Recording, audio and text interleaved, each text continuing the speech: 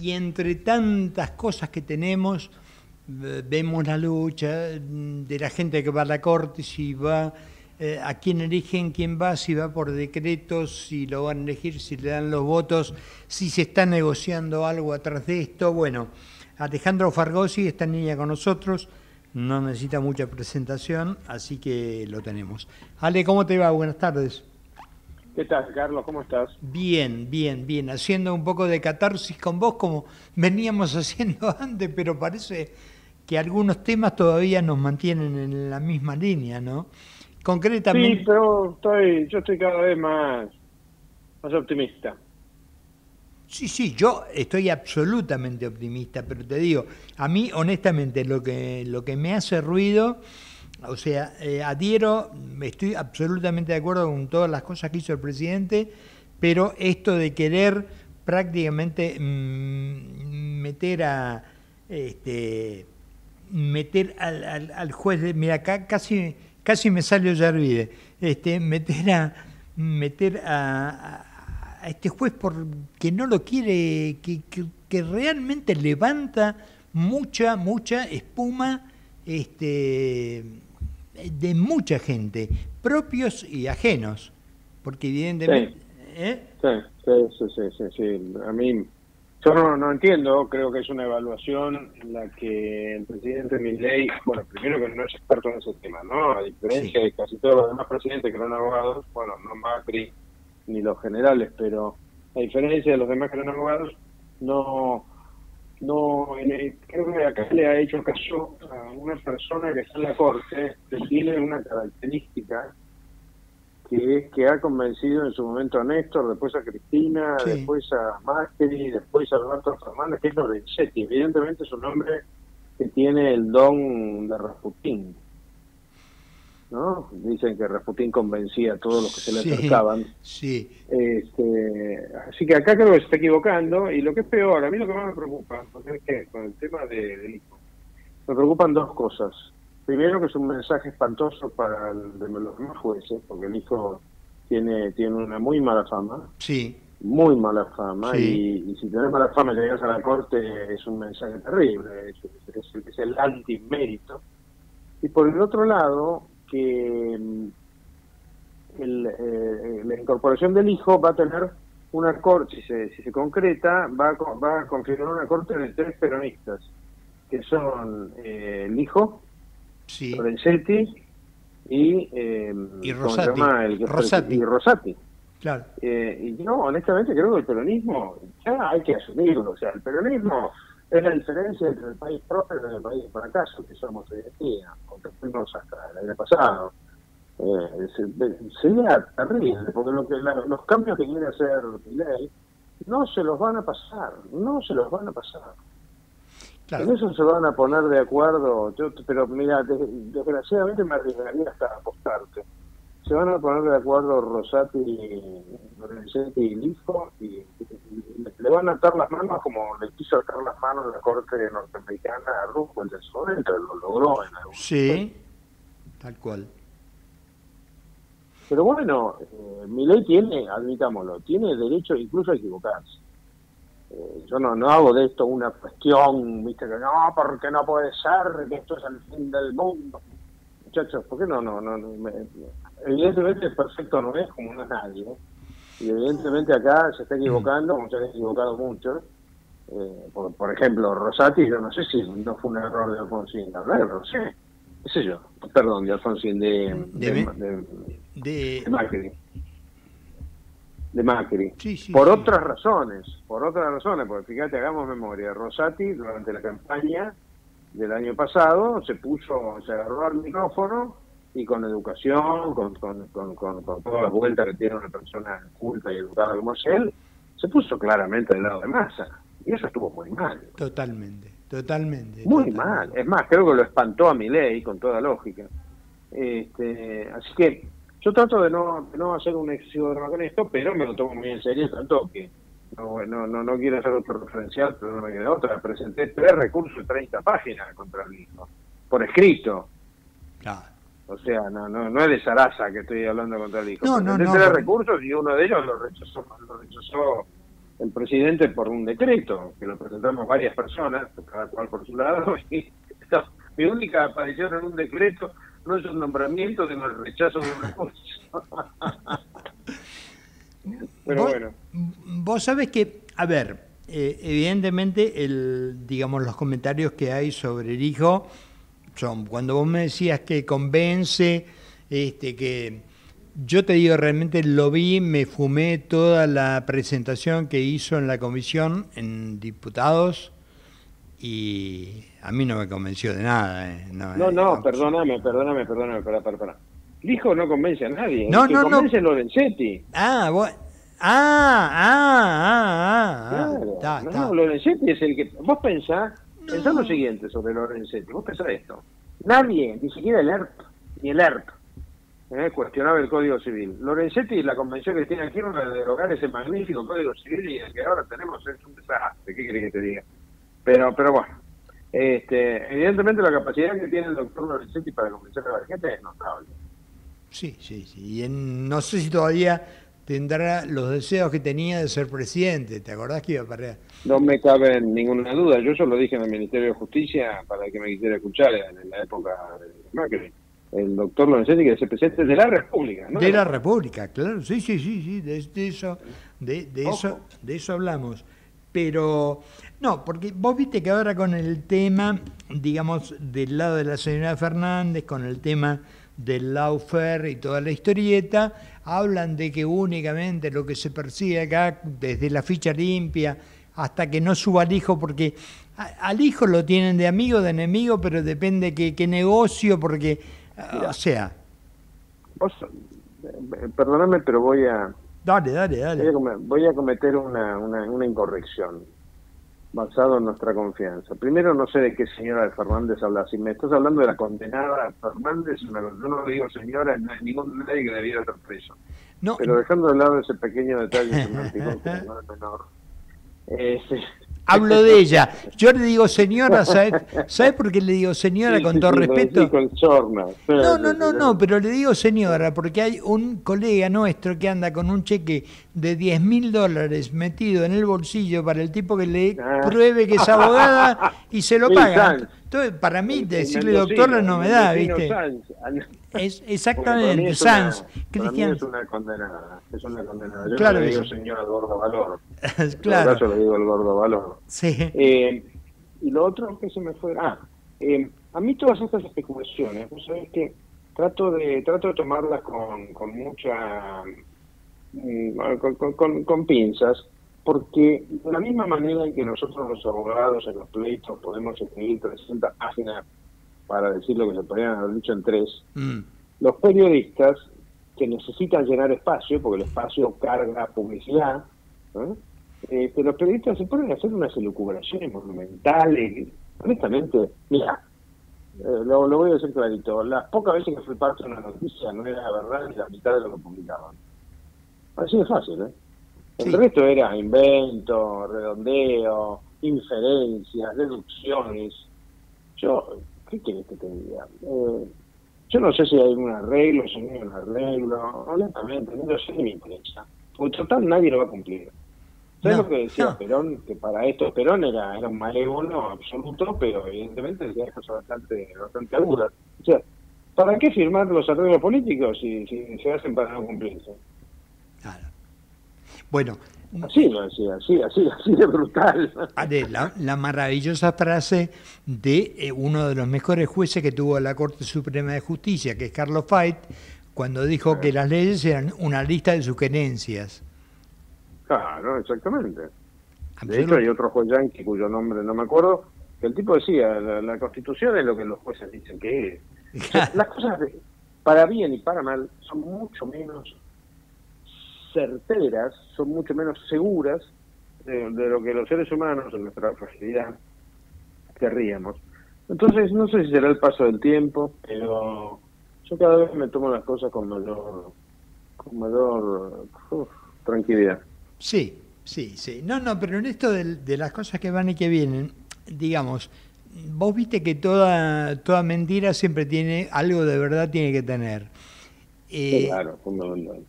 Pero cuando, vos ves que estamos dando vueltas para ver si eh, le firmamos, eh, si el kirchnerismo aprueba lo del hijo. Y por otro lado estamos dando vuelta que es una vergüenza, una vergüenza, yo sacaría el título de este, honorable a, quienes no van a, trabajar por la ficha limpia. Alejandro, pero es algo tan elemental. Eh, sí. No sé, vos Totalmente de acuerdo. También en eso de la mano de Gastón Marra, que es una persona común de la calle que tomó esta bandera y sigue trabajando como loco por esto. Este, estamos metidos en ese tema desde hace años. No soy un segundón total en la, cuestión, pero digamos, estamos luchando. Y claro, el problema del Congreso es que, vos fíjate cuál es el gran dilema que tiene la sociedad moderna en Argentina y en todos lados. Los que hacen las leyes han hecho las leyes de manera tal de beneficiarse. Y entonces no las modifican. Ellos están subidos arriba de sus curros, los fueros parlamentarios, eh, pagan impuestos de ganancia, pero la liquidan de manera tal que nosotros diríamos presos y la liquidamos de otra manera. Eh, no, no tienen obligación de estar, pueden, pueden, pueden, pueden ausentarse. En fin, tienen 7.000 curros. Pero claro, cambiarlos por ejemplo, la ficha limpia, depende de ellos. Todos los tipos no lo hacen. Es un, es un drama. Pero como dijo Churchill, el mejor sistema que el, el, peor sistema que conocemos es el democrático, pero no hay nada mejor. Claro, claro, absolutamente. sí, sí. Eso sí es fácil. No, pero uno, por ejemplo. Que ir, perdón, no decime qué. No, no, te digo, esta es la ficha limpia. Si vos vas a tomar, no sé, a una señora que te venga a limpiar tu casa y te dicen, mira, eh, tiene una condena por qué sé yo qué, y eso afecta el robo y, y no la tomás. Ahora no te pueden decir, no, no le podés preguntar. Sí. Pero peor, oíme, Carlos, es todavía peor.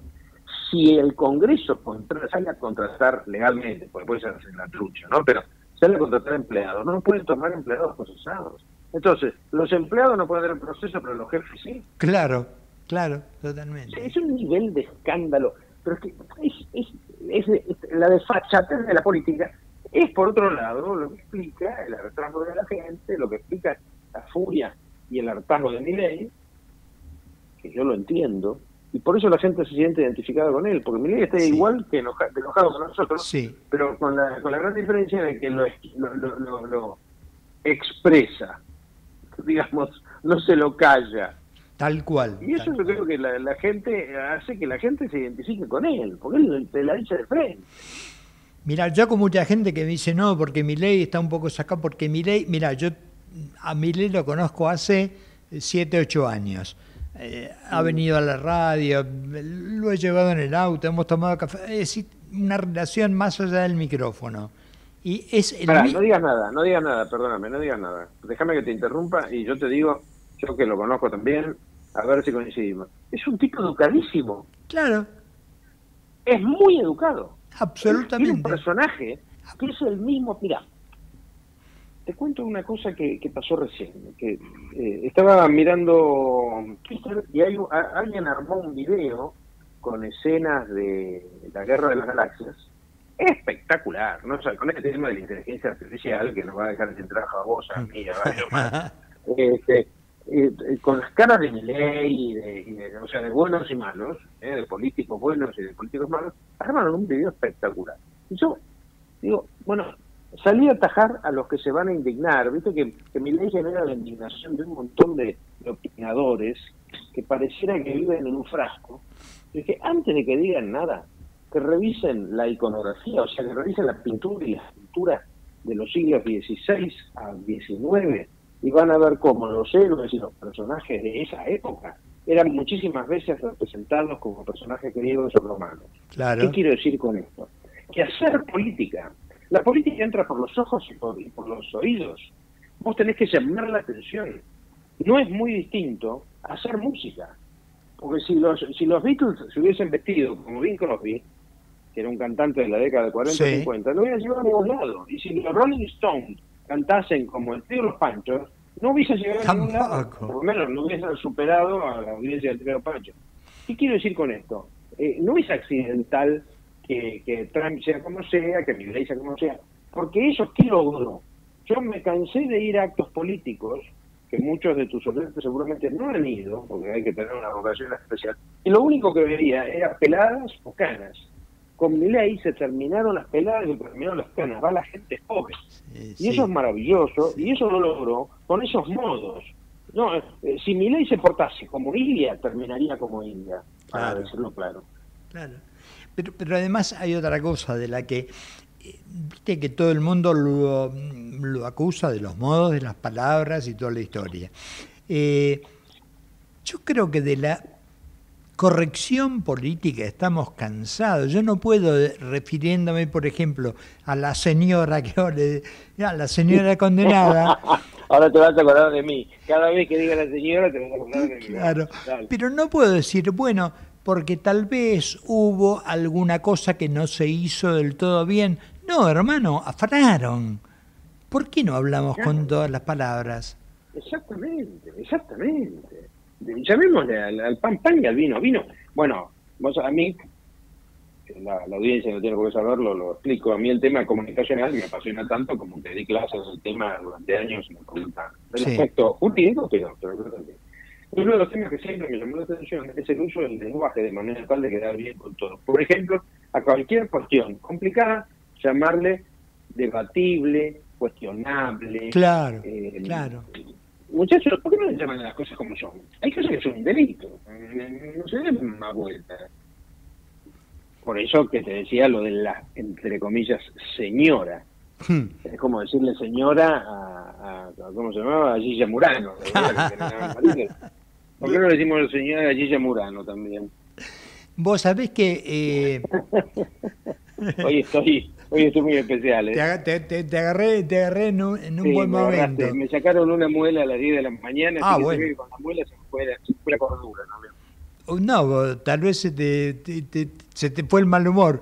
No, Alejandro, pero hay, hay un tema. fíjate que hasta el mismísimo Alberto Fernández, cuando termina su gobierno, dice, bueno, no hicimos, no estuvimos todo lo bien que nos hubiera gustado o algo por el estilo. A ver, yo te pido el auto prestado, me lo prestas, lo vuelco, doy cuatro vueltas y se incendia. Y vengo y te digo, mira, Alejandro, no, no está tan bien como cuando me lo diste. No, querido. Sí, no pasa nada, está un poquito... Ah, viste, pasó algo, no hubiera querido, yo no... Y bueno, pero nada, eh, por eso te digo, una de las cosas que a mí me, me, gusta de, del presidente es esto, de hablar las cosas como son y te digo que con los presidentes que tuvimos, si vos encontrás a muchos que tengan la cultura, la educación, que tiene eh, los libros leídos que tiene mi ley, este, tráemelos, ¿eh? Pero, pero por eso te por eso te interrumpí cuando contabas de, claro. conocer ese años, porque a mí me pasa lo mismo. Y es un tipo educadísimo, es muy educado, muy educado. Y eso sabes en qué se nota para que la gente que nos está escuchando lo capte. Cómo él se acerca a la gente que lo saluda. La mayoría de los políticos se sacrifica para darle un abrazo a la gente. Sí. Él se emociona si le, si le regalan un mordión de granadero, sí. se va a hablar con los chicos en un semáforo. Eh, en, ese aspecto, ¿sabes a quién me hace acordar, mi ley? A Messi. Sí, bueno. Messi, Messi es un tipo muy humano con la gente. El resto, ¿vos viste lo que son la cara de masa o de o de Gilla Murano de la política. sí, no, no, no, terrible. Aparte te digo, tiene cosas este, de una gran humildad. En una nota que le hizo Susana Jiménez, que después fue cuestionado, pero no importa. Pero en un momento, cuando le nombra a Messi, eh, Susana Jiménez le dice, pero no lo conoce eso, no lo conoce a Messi. No, no tuve el gusto. Uy, dice, porque yo lo veo siempre, que yo, y no le podrá decir a ver si lo puedo. Él preguntando a ver si Susana Jiménez le podía hacer el gancho para ver a Messi. Porque es un tipo normal, o sea, tipo esto que estoy diciendo parece parece muy disruptivo, ¿no? Es decir, normal, decir, que es muy normal alguien que hace la revolución que está haciendo en todos los aspectos, pero es un tipo normal, mire. Eh, nosotros estamos acostumbrados a, nos hemos acostumbrado a gente que termina hundiendo el país en el, en el, en el estercolero en el que está. Mm. Por eso, cuando aparecen personajes como estos, nosotros no los entendemos en toda su dimensión. No, totalmente. Y además, eh, una cosa, yo hace un rato hablaba de la, de la, de la humildad de un eh, Costas de, de, Racing, dicho sea de paso, la gran alegría, de Costas de Messi, de, de Franco Colapinto. Vos fíjate, yo recién hablaba con Rolando Ferreres, un pibe de 21 años que llegó donde llegó y lo ves y el tipo habla con una humildad total. ¿Será, se vendrá muchísima gente, muchísima gente es así, de los famosos, se me ocurre en este momento Fangio, pero muchísima gente es así. Este, yo conocí a un viejo que lo había conocido bastante a Gardel y también así. Lo que pasa es que nos hemos acostumbrado a un lote de escoria, de basura, como bien lo califica Miguel, ¿eh? que nos han, nos han, nos han convertido en Mira, el mismo Perón, te cuento esto que, es una anécdota que nunca conté por la radio. Dale, dale, dale. Mi, madre, mi madre, que era bastante gorila, este, una vez coincidió en una fiesta, en una embajada con Perón, y estaba muy impresionada porque en un momento vio que había una señora, una mujer, que estamos hablando de cada 50, ¿no? O sea, 52, 53. Había una mujer que se estaba, se estaba por sentar y, y Perón, rápido como un rayo, caminó varios metros y le acercó la silla. Claro. ¿Ah? O sea, ¿por qué? Porque ser poderoso, ser rico, ser lindo, ser famoso, ser como no quiere decir convertirte en un sublime imbécil, como la silla murano de la política que exigía que los granaderos agachasen la mirada cuando pasaba. Sí, señor, no podía mirarla, no podía mirarla. Que dicho sea paso, si los agarraba San, San Martín en, el, en la el reglamento para los oficiales de granaderos era, era causal de, de, causal de expulsión agachar la cabeza en acción de guerra. O sea, en medio del tiroteo tenían que mantener la cabeza alta. Claro, claro. ¿Mm? Mira, hablamos de gente grande, grande eh, no, no, no en edad, sino en, en, tamaño y, este, y humilde. Vos sabés que yo en el año 2000, 2000 y algo, trabajé con Antonio Carrizo en Radio Libertad. Y todos los días, antes de hacer el programa, íbamos al Totoni, tomábamos un café, qué sé yo.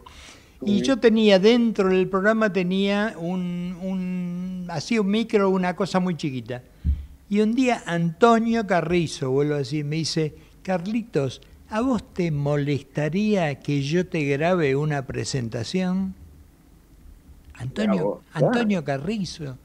¿Vos te das cuenta? Sí, a mí, a mí eso me, pasó una cosa relativamente parecida con un famoso jurista que se llamaba Guillermo Gorda, o sea, todo ese tipo de cosas.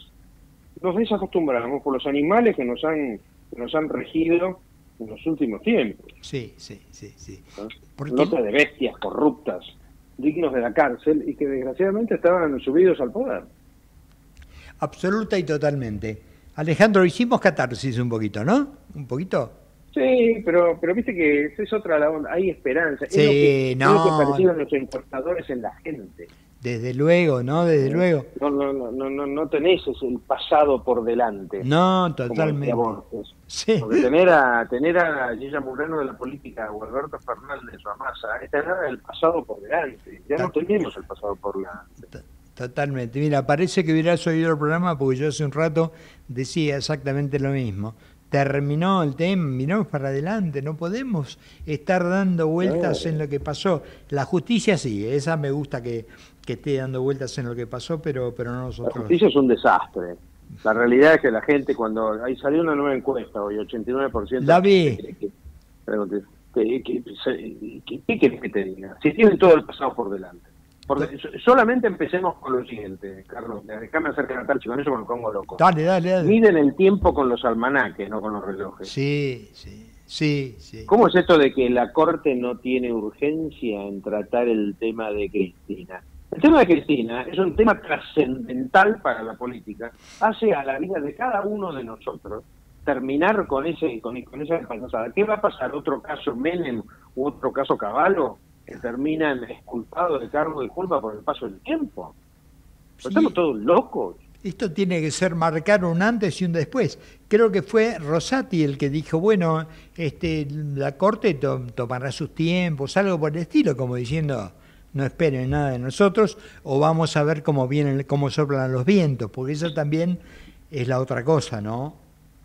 exacto. La pregunta que yo le haría a cada una de las personas que me está escuchando, en este que no se está escuchando en este momento, es si dependiese de, cada uno de, esos, esos oyentes elegir una corte, ¿elegiría una corte que hace este tipo de cosas con el reloj? Claro. ¿O con el almanaque? Totalmente, totalmente a cualquiera de nosotros, eh, Alejandro.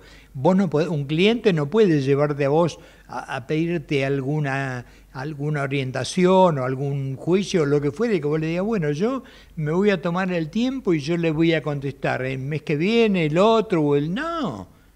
y no solamente un cliente, no solamente un cliente, Carlos, sino que el mismo código procesal al abogado lo obliga a correr como un gamo ¿eh? y cuando tiene que presentar un escrito a las 9 y 30, si llega a las 9 y 31 queda fuera de plazo. Claro.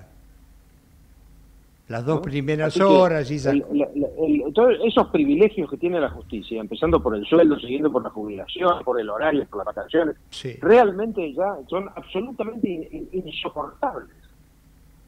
Además que venimos de que venimos de épocas donde era todo escrito y hoy tenés la posibilidad de lo que te, de lo que te brinda la tecnología para tener todo mucho más rápido que andar escribiendo. Vos sabés que es curioso, tal cual, y es curioso una cosa que nos pasa a los que trabajamos, es que a veces la tecnología te ayuda muchísimo, pero la otra te complica porque los jueces, con este tema de que cada juez es soberano en su despacho, uno te interpreta que él no va a firmar con tinta, sino que va a firmar digital. El otro te interpreta que va a firmar con tinta, pero no va a firmar digital.